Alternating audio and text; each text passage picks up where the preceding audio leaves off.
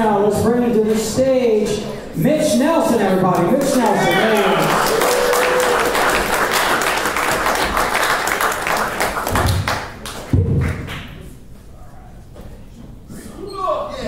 is. Mitch Nelson, everybody.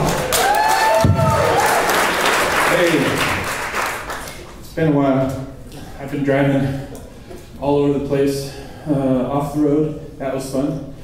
Got some air over a cliff off the uh, off the side of the road, and uh, I'm alive. Here I am. Woohoo! So no more comedy, no more storytelling. I'm going straight for stunt driving. Um, no, I can't do either one of those. Um, but uh, it did remind me, though. I was uh, I was up in uh, I lived in Olympia, Washington, for a long time, and um, I got into uh, Zen, like uh, meditating and stuff. And I found this really nice little place out in the out in the. He built like this little Zen uh, place out in the middle of the forest, and the crows would come and could squawk a little bit, and you could hear the rain on the roof, and it was just really peaceful and awesome.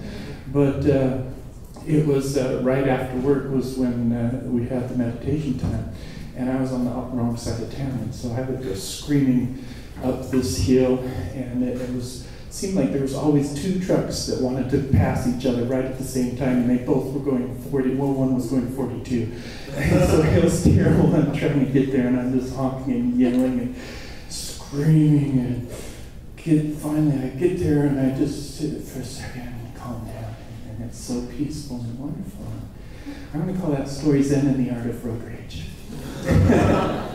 so, uh, but uh, on the other side, uh, my, my best friend from high school days moved to uh, Wyoming, and I went out to visit him.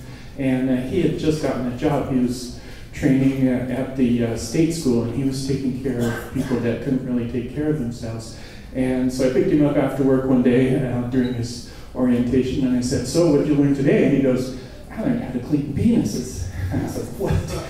Really? He's like, well, somebody's got to do it, and they can't do it themselves. And I was like, well, I guess that's true. And I was like, but at least now I know that when I get older, I, can I have someone to turn to that'll know how to take care of me, and you know.